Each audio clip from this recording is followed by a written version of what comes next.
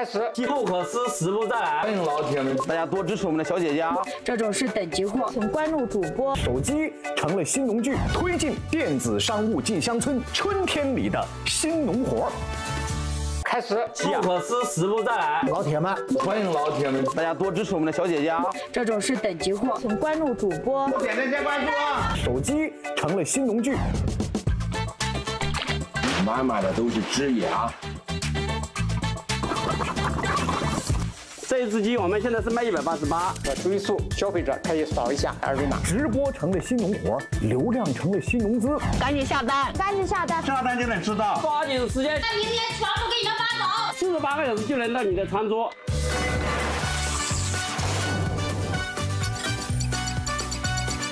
还有多少单？推进电子商务进乡村，春天里的新农活。友们，大家好！哎，咱们来看看今天直播间里面到底有点啥啊？我们在准备来开箱了。嗯，哈，今天这个直播间啊，大礼很多。嗯，嚯，松茸干片。哦，今天我们的直播间，各位可是来着了啊！先开个袋。这个包装还是还是很到位的哈。嗯，来，我们可以给个特写，看看这是啥啊？松茸干片儿。嗯，哎，各位，这只要一开袋儿啊，这个香味儿就已经传过来了。香气扑鼻，那要跟各位介绍，这些松茸干片都使用的是海拔三千多米高的原始森林里面采挖到的新鲜松茸做成的。这松茸啊，了不得啊！每年只有八月份到十月份您才能够吃到新鲜的，平时想吃怎么办呢？哈哈，就得靠这样的干片来解解馋了。汤老师，松茸干片儿到了呀！啊，对呀啊，给我一包呗，炖汤喝。哎呦，好不好？不是哎，这好货呀，我也这剩下的我拿走喽，不给你留喽。这几个意思？这个是？看来这个是买少了啊，没了，这怎么办呢？这样，咱们现在就一块儿去直播间里面，咱们再抢点儿啊！你好，卓母，能听到吗？东东老师你好，你好听得到。哎呀，卓母好漂亮！我把我仅会的一句藏语送给你哈 j u s t i n 很高兴见到你。给大家说说咱们今天直播间里面都有什么好货？今天直播间里面的话呢，好货特别的多，嗯有咱们高山上的松茸干，哎，我刚被他们抢走了咱。们的牛肉干啊还有咱们的高远萝卜。哎呀，看着都特别有食欲。你看今天啊，到卓母直播间的不仅仅我在这儿，还有我们的各位观众朋友们一块儿都来到你的直播间了。你这必须得给我们大家送点福利，给点优惠啊！到底有什么福利和优惠？今天洞洞老师来到我的直播间，我特别的高兴，我给大家送出一个很大的福利哦。就不告诉你福利是什么。这样，咱们在卓母的直播间里面看看他到底给咱们什么样的福利。咱们就三二一，开抢！我跟你说，我今天买了一那个就是差不多一个月的松茸了，我从来没有见过比这个大的海松茸。我今今天晚上太兴奋，太激动了。两斗的话有四百多克啊，然后看一下，比卓玛的脸还大啊，比卓玛的脸还大。而且这种松茸的话呢，它是出口级的啊，谁是一单就给谁发。哦，需要的朋友赶紧下单，上网没货了。不到十分钟，三千多人同时在线观看。半个多小时后，卓母挂上链接的松茸全部售完。我家的货的话，它是供不应求的，只要一上架的话呢，大家都会巴拉巴拉的就一下抢完了。就今天晚上有的货已经全部都卖完了，是的是的个小时的时间卖了三万多的货。每年八到十月的松茸季，村民们都会起早贪黑进山找松茸，全家忙活这一件事儿，可到头来全部收入还不到一万元。曾经，卓木和乡亲们一样，都被动接受着这样的局面，直到二零一七年五月，一个视频的爆火，改变了这一切。就是这个视频是我爸给我拍的，当时是我跟我母亲在挖一个虫草，我就呃那个跟我父亲说帮我拍一个嘛。当时发这视频，我还爬了半个小时到山顶上把这视频传出去，第二天才到了山顶上，我才看到它上了热门。虫草难寻。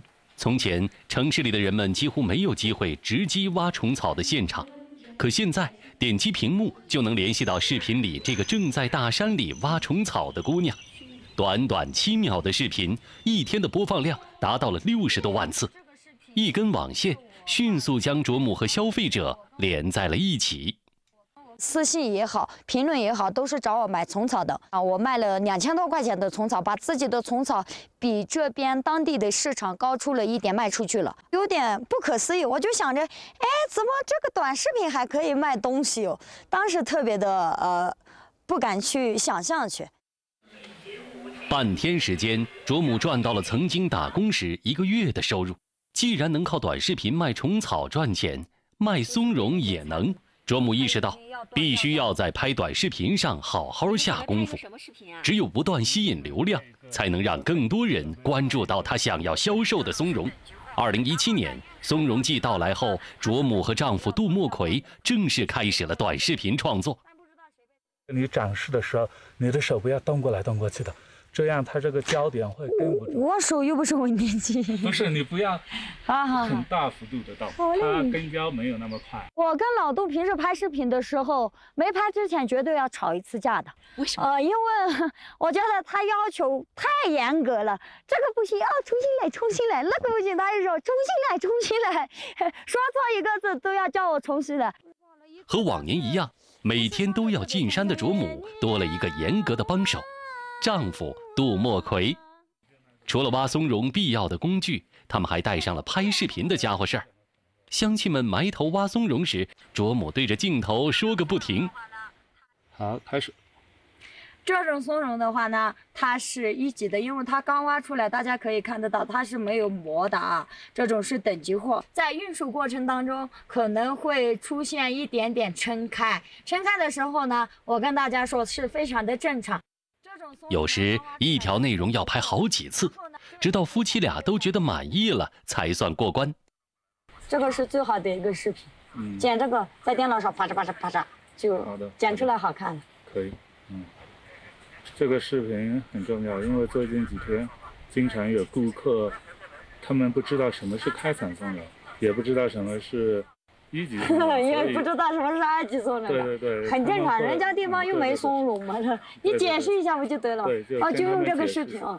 卓母和杜莫奎不断尝试，账号上热度最高的一条视频，点赞量达到了一百多万次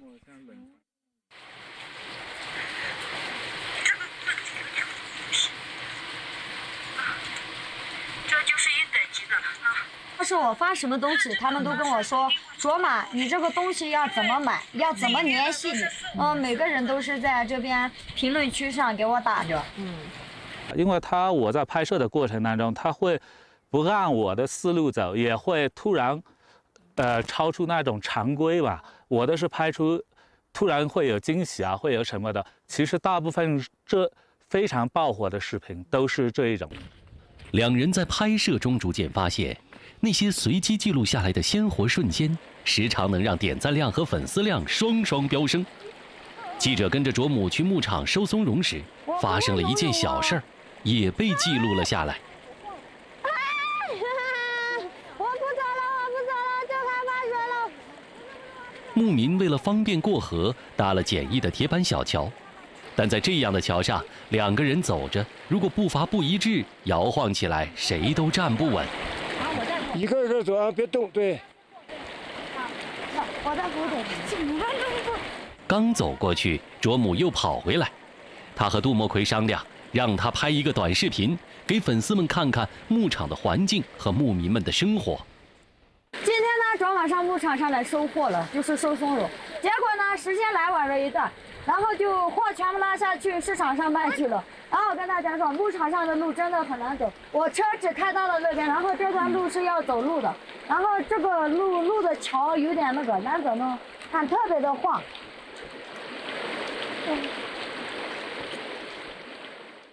真实的记录是卓母获得超高流量的密码。二零一七年的松茸季，短短三个月，卓母的账号涨粉五十多万人。过去在市场上被压价到一百多元一公斤的松茸，在他手里卖出了三百多元一公斤的高价。山里的女孩靠一部手机、一根网线，打通了城市与乡村的界限，掌握了家乡特产销售的主动权。而在距离卓母家乡稻城县两千多公里远的安徽砀山县，武妍妍带领的娘子军和卓母有着一样的愿望，掌握销售的主动权。特别酥，特别好吃，徒手白梨。啊，这是酥，嗯嗯，真好吃。老铁，赶紧下单！来，哎呦呵，嗯，哎呦，刚刚的节目里面啊，看到武妍妍徒手掰梨，那我也没忍住，咱们得现场试试，还真是。这个梨啊，太酥脆了，尝一口，汁水那是真多，而且确实是甜。说心里话，现在这个季节呀，虽然还不是这个砀山酥梨集中上市的时候，但是咱们依然能够吃到这么新鲜的酥梨，因为什么呢？因为武妍妍的冷库里面还有预留的存货，每天呢，他都会带着这个铁娘子们进行直播，一天能够卖出一到两千斤的砀山酥梨啊。你问了，哎呀，这怎么直播的生意？他怎么就这么好呢？咱们现在就来连线一下武妍妍的铁娘子团队。你好，妍妍，能听到吗？哎呀，妍妍，哎，你好，你好，哎，真热闹啊，呵。这样，妍妍先跟大家一块打个招呼，好不好？大家好。嗯，您这样，您给我们大家介绍一下咱们的这个铁娘子团队，好不好？这个是我们的铁娘子团队。嗯，这个是我们的小娘子。哎呦，还是小娘子！小娘子今年多大了？今年八岁了。今天跟妈妈来我们直播间玩啊，来直播间玩了。欢迎欢迎欢迎啊！其他的这都是咱们铁娘子团队当中的成员了哈。对呀。嗯，我可是听说呀，咱们这个团队那太厉害了，不仅仅直播带货做得好，好像还有才艺啊，很多人还有才艺主播，能不能现场给我们来一段？可以啊。我们拿出来我们砀山人的热情。来小娘子来，呵，小娘子来。我是大苏梨，家住砀山地，这大皮房酥又甜，胜似吃蜂蜜。忽如一夜春风来，千树万树梨花开。万亩梨园齐绽放，玉树花海等您来。黄桃罐头棒棒糖，馈赠亲友暖心房。特色风俗展风采，热情招待显情怀。你看，咱们讲那个三个女人一台戏啊，咱们这六位铁娘子团队往这一站，这老爷们儿那真是插不上话，插不插得上话不重要，咱们赶紧一块下单吧，好不好？这是武妍妍的直播团队，几个女人轮番上阵，一部手机，一间屋子，又是唱歌又是捏梨，两个小时不到就已经聚拢了十几万的人气。今天直播多少单？呃，一万一千多单。哦，那个那个淘淘打出来。好嘞。这些都是我们一天的成果，辛辛苦苦的成果。然后你看，砀山的酥梨还是比较受欢迎的，王牌王炸。砀山酥梨是安徽省砀山县的特产，酥脆中充盈着甘甜的水分。可是这么好的梨。却和主母手中的松茸一样，也曾面临着销售的困境。那时候这些是销不出去，那时候真销不出去。那时候都现在都都搁着地里头一一堆一堆的，树上都烂掉多些，都没人来买。因为村里都是老年人，没有年轻人，而且老年人都是老年机，有一个老年机就不错了。他们根本都不知道什么叫微信，什么叫微博，就不知道网上还可以卖东西。我就觉得，哎，我在网上尝尝卖。看能不能卖出去嘛，我就发微信朋友圈，发微博，结果几天的时间嘛，把我们村里的梨子卖了七十多万斤。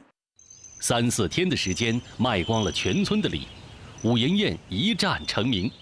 她确定了一个方向，要把砀山梨通过互联网这一新农具直接送到消费者手中。过去大伙儿在实体店买水果能直接挑选品相好的，现在把消费者搬到线上。把控品质就变成了商家的职责。吴妍妍必须要让消费者拿到的梨规格一致，每一个都脆爽可口。可现实很骨感，他从村里收来的梨大小不一，金苹果还不到百分之四十。没有精致化管理的时候，它这个一一棵树上面可以长一千多斤梨子，然后它一个枝上面都压的都弯了，而且是大大小小的梨子不一致，小的就是二三两嘛，啊，然后那种水果是不受欢迎的，几乎是扔掉卖不卖不上去价格的。这里是武妍妍合作的农户家的梨园，梨园里是几个人才能抱住的百年梨树。在二零一五年，武妍妍突然对种了大半辈子梨的老乡们提出，摘掉树上一部分长好的梨，减少梨的产量。他们不愿意，然后我是一家每家每户的敲门去跟他讲这个理念。他说：“一个树我一结一千多斤，我还卖不过你几百斤，我长得好好的，你偏给我弄掉，多心疼啊！那都是钱，就不同意。”武妍妍决定给农户们打个样，她承包六十亩梨园，把鸡鸭鹅赶进去。把原本喂鸭喂鹅的黄豆饼喂给树，这样下来成本提高了百分之三十。武妍妍顶着资金压力坚持了两年后，到二零一七年，她面临着资金断裂的风险，前所未有的创业的压力，都都都都觉得要放弃了，但是又又又自拔不出来，就觉得靠这一股劲儿。这边种着树一直在投入。唯一能换回点资金的，就是线上消费者下的订单。可武妍妍没钱再请工人打包了，她和仅有的三个员工开始自己装箱发货，不眠不休。然后他女儿的话就放到那个快递箱里面睡，然后我们在那里打包。然后他女儿醒了，我们抱一会儿，抱一会儿给她睡着了，再给放到快递箱里面，我们接着再打包，都打包一夜。那时候我们就四个人，反正就真的真的，一想那时候太难了。二零一七年的秋天，武妍妍的梨丰收了，她的梨又大又甜。武妍妍将价格提高到了二点五元一斤，终于卖出了金苹果的好价格。像这种这种是属于金苹果最受欢迎的，而且果形也好看，果汁又多。然后基本上这精致化管理了以后，百分之七八十都会长出这样的。虽然蔬果以后产量减少了近一半。可是武妍妍将梨的价格从两角一斤提高到了二点五元一斤，亩产值增长了将近两倍。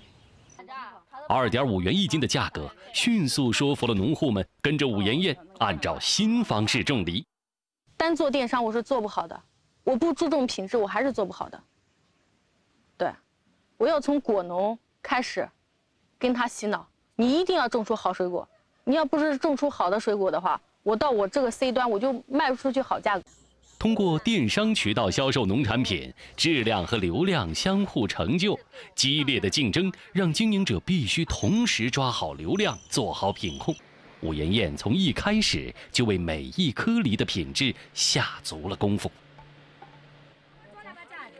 可主母在最初还并不太明白，寄出一颗品质不够好的松茸会给他带来什么。二斤七两。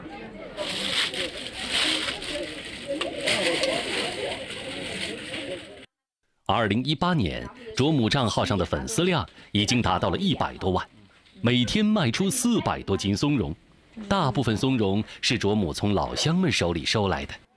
卓母会给出比市场上高出百分之五到百分之十的收购价。是一个，呃，我就跟他说这货有点差了，我说我不敢收，然后他说，哎呀，今天淋了一天的雨，然后他说是一个老妈妈挖的，他说也不容易，然后我就说那给你了，算了算了，因为说实话，我比起他们好赚钱多了，我觉得他们的钱来的太不容易了。直到现在，卓母依然会收购一些经销商们不想要的开伞松茸，而在最初，他把收来的这些松茸都发给了粉丝。质量不统一，给他带来了大麻烦，负面评论汹涌而来，飞速下降的关注度来的比主母想象的还要快。一边是市场对他提出了品控的要求，可另一边是他不忍心拒绝的老乡们。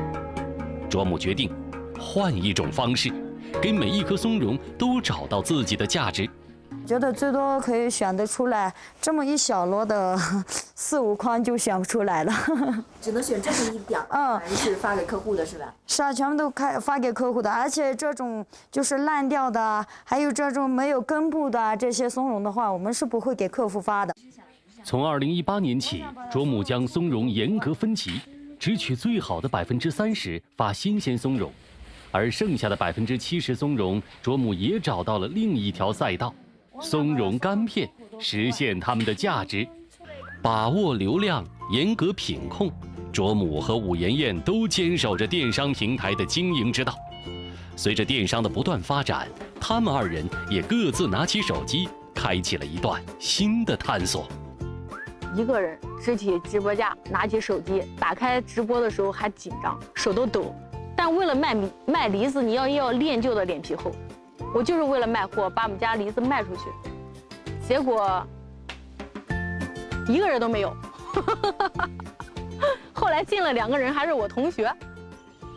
二零二零年新冠肺炎疫情来临时，武妍妍的冷库里全是滞销的梨。直播是一条也许能走通的路，她组建了一个铁娘子直播团队，鼓励身边有才艺的宝妈们在直播间里多多展示。让直播间充满欢歌笑语，偶尔小宝贝们也会来露一手。马开始，三二一，荡山的老乡，你们看，走南闯北，瞧一瞧，还是咱荡山好。工厂里、梨园里，随处都是武妍妍的直播间。二零二零年，武妍妍和她的铁娘子直播团队每天坚持直播。卖光了六千万斤梨，销售额达到了一点八亿元。而和武妍妍一样，直播也为卓母的电商事业添了一把火。自己找不到松茸的时候，我想着，哎，我这里面直播间里面还有人啊，我可以直播着跟他们聊聊天啊，要大家一起就感觉是很多人，几千个人一起在这座山里面找着松茸一样，所以我就会跟他们去呃互动去。然后他们有时候还会跟我说，在直播间里面，他们说：“哎，卓玛那边有个土翘着的，能不能帮我打开一下？是不是松茸啊？”然后我就把直播开着，一边在自己在找着那个松茸，然后一边他们在下着单。当时半个小时卖出了十六万。直播放大了远方大山里人们劳作的细节，一个人干农活，成千上万人跟着感受干农活的苦与乐。卓母和武妍妍一样，都牢牢抓住了互联网时代的这个新机遇。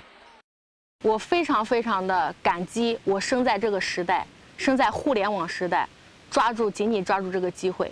互联网时代成就了我，我也抓住了这个机遇。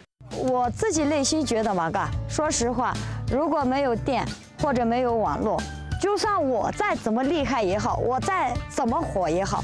你不能想办法把它发出去啊，让别人看到啊，所以我觉得这几年来改变还是特别的大。新的时代，哎呀，咱们看完节目了，你看今天有惊喜来，嗯，那个同事们也算是有良心啊，为什么呢？刚刚啊，松茸干片被他们给抢走了，抢走了之后呢，用松茸干片炖了点鸡汤啊，咱们尝尝。